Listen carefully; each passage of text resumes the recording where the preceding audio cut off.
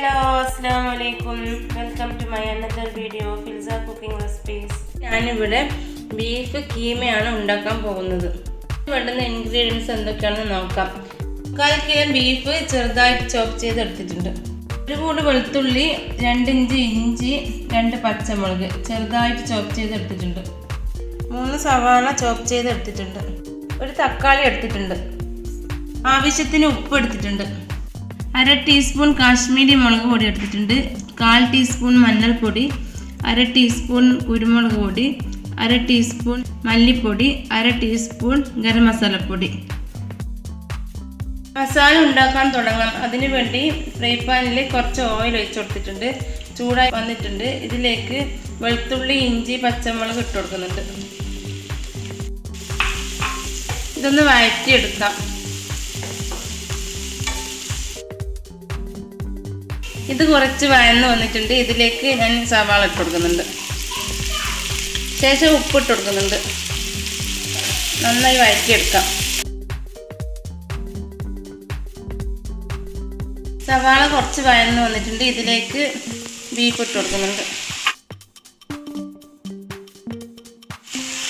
ഇതും കൂടി ഇതിൽ നിന്ന് വഴറ്റിയെടുക്കാം.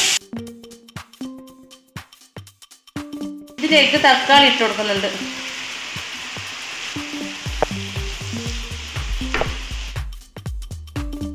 മസാലപ്പൊടികളൊന്ന് ചൂടാക്കി എടുക്കാം.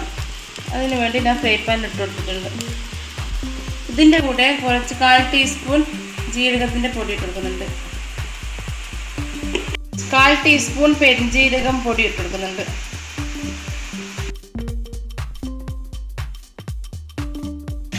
ഇതിലേക്ക് കുറച്ച് കറിവേപ്പില ഇട്ട് കൊടുക്കുന്നുണ്ട്. മസാലപ്പൊടികൾ വറുത്തെടുത്തത് ഇട്ട് കൊടുക്കുന്നുണ്ട്. ഇത് ഞാനൊരു കുക്കറിലേക്ക് മാറ്റുന്നുണ്ട്.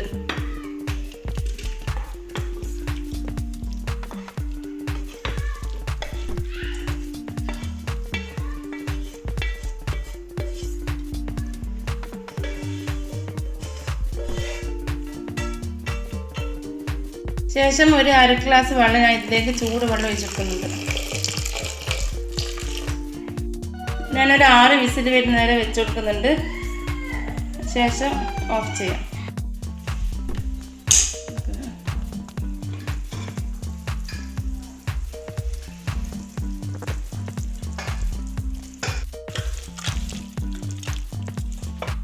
ആറ് വിസിറ്റ് വന്നപ്പോൾ ഞാനിത് എടുത്ത് നോക്കിയിട്ടുണ്ട് വെന്തിട്ടില്ല.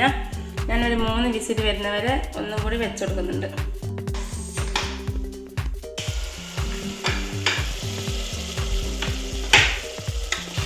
ബീഫ് ഇവിടെ വെന്ത് വന്നിട്ടുണ്ട്. ഞാൻ ഇതിലേക്ക് രണ്ട് പൊട്ടറ്റോ ഒരു ക്യാപ്സിക്കോ ചെറുതായിട്ട് പീസസ് ആക്കിയത് ഇട്ട് കൊടുക്കുന്നുണ്ട്.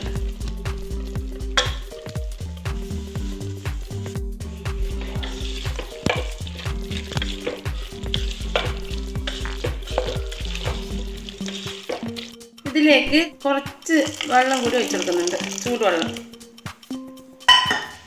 ശേഷം പൊട്ടോട്ടോ ക്യാപ്സിക്കോ വെന്ത് വരാൻ വേണ്ടി രണ്ട് വിസിൽ വരെ നമുക്ക് വേവിച്ചെടുക്കാം.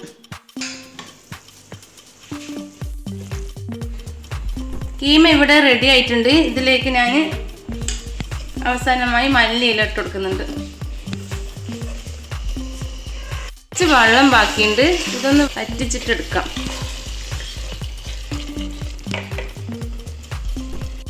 ബീഫ് കീമ ഇവിടെ റെഡി ആയിട്ടുണ്ട്. നിങ്ങളെല്ലാവരും ഉണ്ടാക്കി നോക്കണം. നല്ല ടേസ്റ്റിയാണ്.